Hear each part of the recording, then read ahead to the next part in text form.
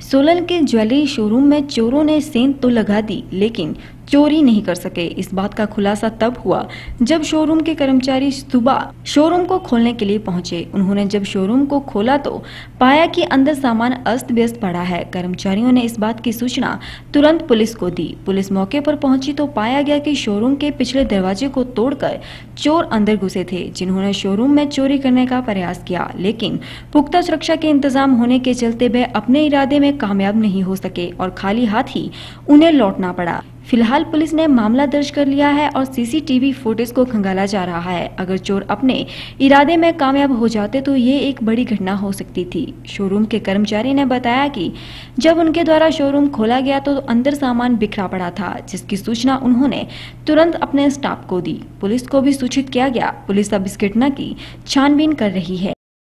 यहाँ पे काम करता हूँ, अंदर पैंतलीस स्टाफ में और सुबह आके लॉक मैं ही खोलता हूँ। और जैसे ही मैंने लॉक ओपन किया तो हमने देखा कि अंदर दरवाज़ों के शीशे टूटे हुए और जैसे ही हमने देखा तो मैंने सर को बताया कि सर, अंदर शीशे टूटे हुए, चेक कर लो।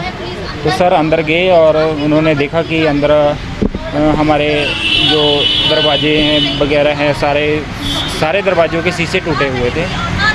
तो और सर ने चेक किया अंदर तो देखा कि सारे शीशे टूटे हुए हैं और अंदर हमने लॉक ओपन किया। जो हमारा पासिंग एरिए का जो लॉक है, वो ओपन किया। तो देखा अंदर सारा सारे दरवाज़ों के शीशे उन्होंने तोड़े हुए थे।